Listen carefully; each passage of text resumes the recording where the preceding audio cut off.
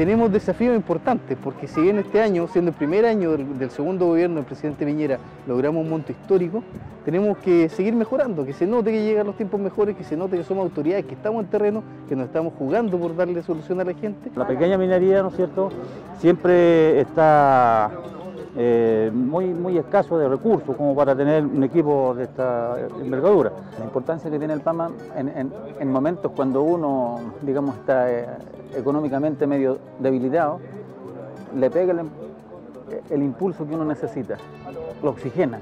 Después de tener muchas promesas en la minería acá en Tiltil, hemos logrado que con el gobierno del presidente Piñera, gracias al ministro de Minería, don Baldo al Ceremi que está en terreno cada vez que uno anda en su faena, eh, queremos dar las gracias porque lo prometido eh, hoy día ya se ha cumplido. Gracias a estos motores que hoy día están entregando, gracias a estas maquinarias, eh, nuestro trabajo va a ser mucho más eficiente y, realmente va a ser significativo en nuestro futuro.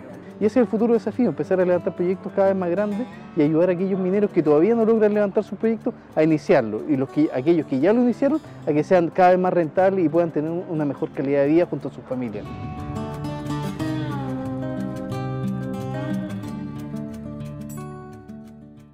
Chile lo hacemos todos. Gobierno de Chile.